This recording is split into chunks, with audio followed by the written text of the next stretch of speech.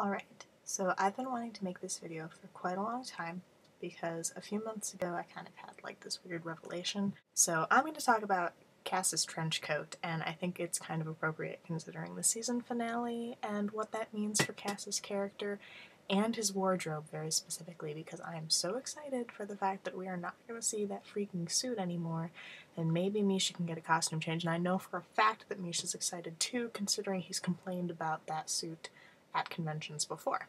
So I know that the trench coat has become kind of this symbol for Cass. Um, clearly it's meant a lot in the show from, you know, Dean keeping it after the Leviathan possessed Cass and after he lost Cass and then giving it back to him and that kind of jogging Cass's memories. So clearly the coat has its own symbolic meaning in it kind of being what sets Cass apart and makes him himself, really.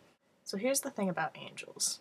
All of the angels that we've seen who have rebelled, meaning Anna, Gabriel, Balthazar, um, Samandriel, a few others, they all have some weird outfit, you know. Uh, Anna has her own clothes that she wore from her time as being a human. I don't know what the heck is up with Gabriel's clothes.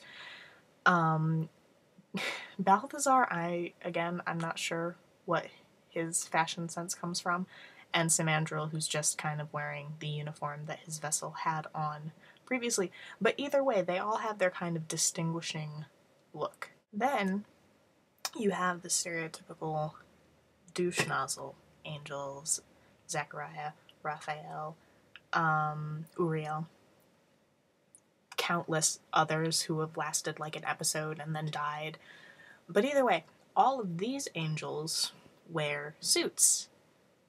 Very, very tailored suits, including Naomi, although hers is kind of a variant, which is odd to me because everyone else wore, you know, a black or gray plain suit. She's got kind of this really nice, clearly woman's suit, whereas all of the other female angels have worn kind of more traditionally male or unisex suit. So anyway, obviously the suit has kind of represented the faithful angels, the ones who are still working um, for their own gain, and the more rebellious angels have more down to earth clothes.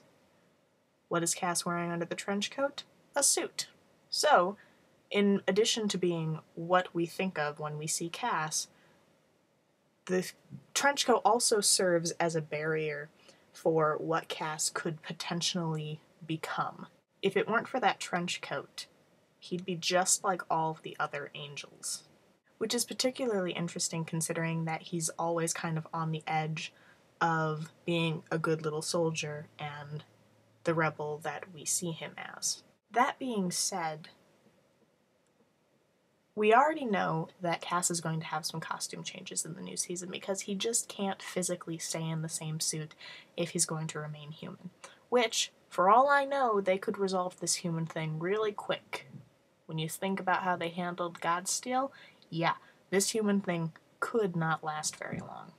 But, again, he's going to need clothes if he's remaining human.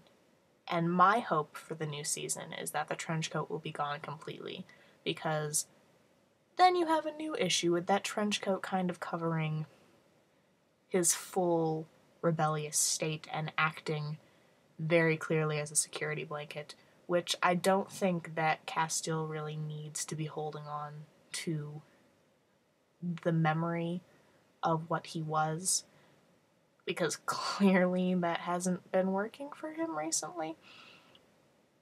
Regardless, those are my reasons as to why I think the trench coat is great, and also why I would really love to see it dropped in the ninth season. Um,